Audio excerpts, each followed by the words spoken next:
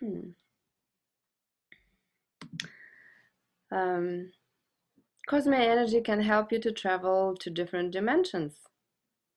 Indeed, uh, absolutely yes.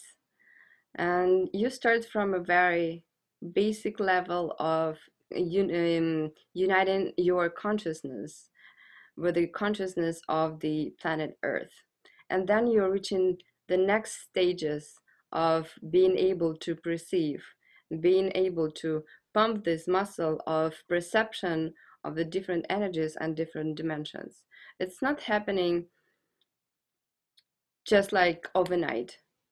Uh, like you would be going to Amazon jungle and would perceive the different dimensions and would be traveling there for six hours.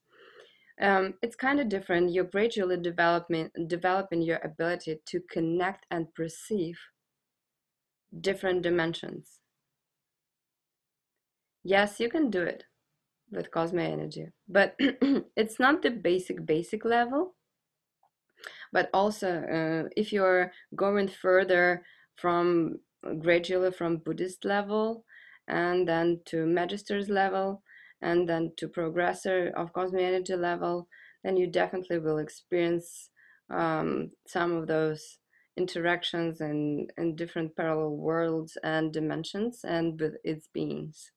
And it's very interesting experiences, very psychedelic. Even you're staying sober. And the main thing that you need to stay aware of is that you need to stop thinking and just let it happen. Mm-hmm. Thank you for the question.